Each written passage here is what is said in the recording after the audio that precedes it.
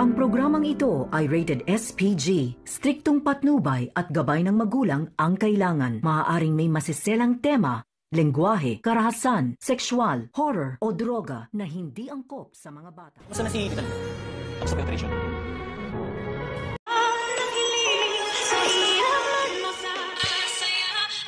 Narito na nga ang ating patuloy na pakatutukan ngayong lones sa abot kamay na pangarap. Nagtulong-tulong naman itong mga kaibigan ni Annalyn upang maligtas itong kanyang ina na si Lynette. At nagdasal nga sila lahat upang matuloy at magampanan ni Annalyn ang operasyon at matagumpayan niya ito. At dito naman na lumapit itong si Doc Prado sa kanila at tinanong kung kumusta na nga daw itong si Tita Lynette. At hindi naman makasagot itong mga kaibigan ni Annalyn dahil wala pa nga raw silang update tungkol dito sa operasyon na ginawa ni Annalyn. Dahil mapa hanggang ngayon nga raw ay hindi pa rin lumalabas sa OR itong si Annalyn. Kaya ang gusto ngang mangyari ng mga kaibigan nito na damayan nila ito sa pamamagitan nga ng pagdarasal. Nang sa ganon ay bigyan si Annalyn ng lakas na loob upang matagumpayan niya itong operasyon ng kanyang ina. At dito nga na nakarating at nabalitaan ni Zoe mula dito kay Justin na wala man lang itong kaalam-alam na nasa OR pala itong si Lynette na inooperahan nga ngayon. At nagulat nga itong si Zoe nang malaman niya mula dito kay Justin na ano daw nangyari dito kay Lynette.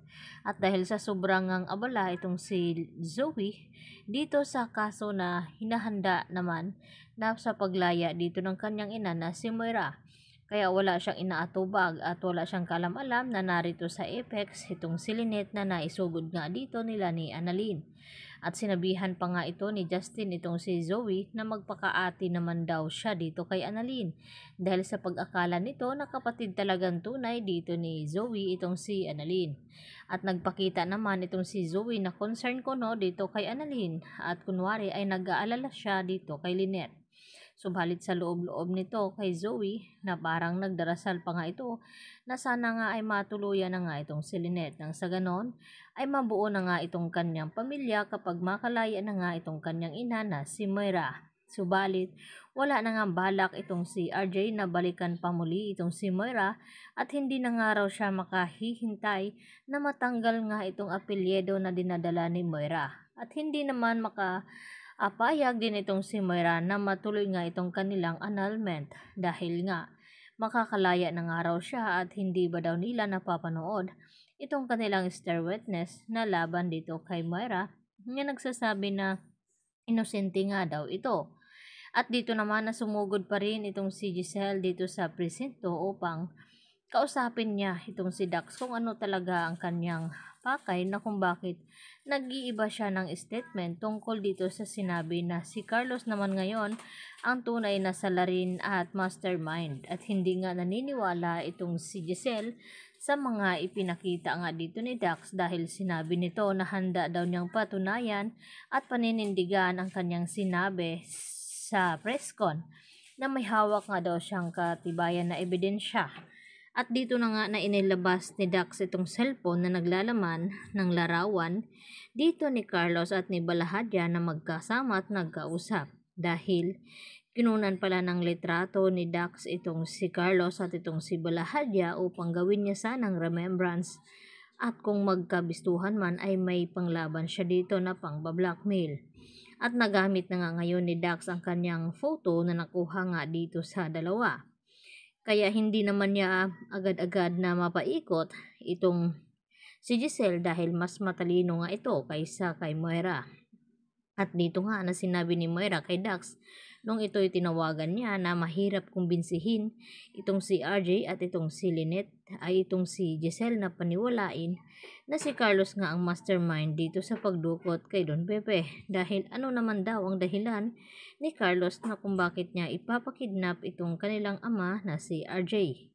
At dito naman nagbanta itong si Giselle kay Dax na kung mapapatunayan nga daw niya na nagsisinungaling itong si Dax at may kinalaman itong si Zoe sa kanyang pagbabago ng statement ay gagawin daw niya lahat upang makulong din itong si Zoe dahil sa ginagatungan niya itong si Dax na magsisinungaling dito sa presscon at makakalaya itong si Moira. At dito na nga na tila kinakabahan ng konti itong si Dax dahil sa gagawin nga lahat dito ni Giselle at hindi niya hahayaan na dahil sa testimony dito ni Dax ay makalaya nga itong si Moira.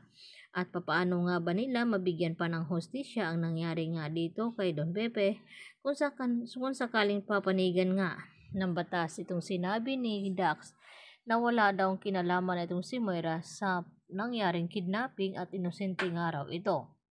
Samantala, nakiusap naman ng tudo itong si Carlos dito sa kanyang close friend na sana raw ay huli na lang itong tulong na ibibigay nito at tinutusan niya ngang kunin ang kanyang natirang pera dito sa Astridge at siya lamang ang pwedeng makakapasok roon. At dito naman na ipinangako ni Carlos na pagkatapos daw nito ay makakalaya at makakakilos na daw siya ng maluwag dahil may pera na nga ito. At hindi naman nag-aatubili ang kaibigan ni Carlos na tulungan siya dahil tumanaw din naman ito ng utang loob kay Carlos. Dahil sa tagal nga ng panahon na tinutulungan niya nga itong si Carlos ay ito na nga ang kanyang igaganti. At tahimik naman na nakapasok sa loob ng opisina itong kanyang kaibigan at nakuha nga ang pera na sinasabi nga dito ni Carlos. Subalit wala naman itong kaalam-alam na nakasubaybay din sa kanyang likuran itong si Doc Lendon Javier hanggang sa tinawagan niya itong si Carlos at ipinaalam at binalita na nakuha na daw niya itong pera na nandun sa vault. At Carlos ang binanggit na pangalan nito at nagduda itong si Doc Lendon na baka si Carlos Binetes ang tinutukoy nitong Carlos. Dahil wala naman daw siya ibang kakilalang Carlos kundi yan lang si Dr. Carlos Binetes. Kaya nang umalis nga ito ay palihim naman na sumusunod itong si Doc Lendon hanggang sa nakarating nga ito sa bahay at nag-doorbell nga ito at dito naman na minamasdan lamang ng kaibigan ni Carlos kung anong gagawin ni Doc Lendon Javier. Kaya agad niyan tinawagan itong si Carlos at sinabi na kahit anong mangyari ay wag daw itong lalabas ng bahay dahil nandun daw sa labas itong si Doc Lendon Javier na nakasunod nga sa kanya. Samantala, lumabas na nga ng OR itong si Annalyn at Doc Ray Meneses at sinalubong naman sila dito ni RJ at Chang Susan at Diosa. At kinamusta itong si Annalyn kung ano nga nangyari dito sa operasyon ni Lynette. At hindi nga agad-agad makasagot itong si Annalyn, subalit maya-maya nga ay ibinalita nga dito ni Annalyn na sa wakas ay matagumpay nga nilang natapos ang operasyon. At yun din ang sinabi dito ni Doc Ray Meneses na ginawa lahat ni Annalyn upang mailigtas itong kanyang ina. At hindi lang ngayon dahil uh, humanga talaga ng husto itong si Doc Ray Meneses dito sa tatag ng kaluuban dito ni Annalyn upang mailigtas nga itong si Lynette. At kinabukasan, dahil nagpapagaling na nga itong si Lynette, at dito naman na masaya na inilabas na nga nila dito si Lynette sa OR at ililipat na sa isang kwarto. At dito na masaya ang lahat dahil sa matagumpay ngang nairaos dito ni Annalyn ang operasyon ng kanyang ina at ganoon din naman masaya at Napatawa din ni Lynette itong kanyang anak dahil sa katigasan ng kanyang ulo.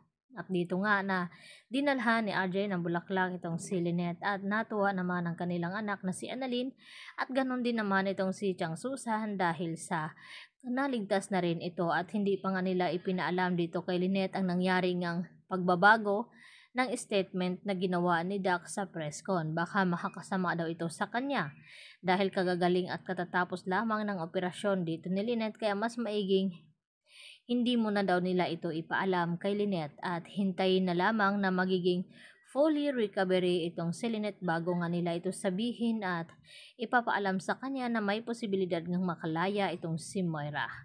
Yan po ang aking karagdagang latest update today at maraming marami pong salamat sa inyong walang sawang uh, suporta at pagkikinig at panonood dito sa aking video na ina-upload araw-araw. At sana'y patuloy nyo po itong i-like at i-subscribe. Marami pong salamat. Bye-bye!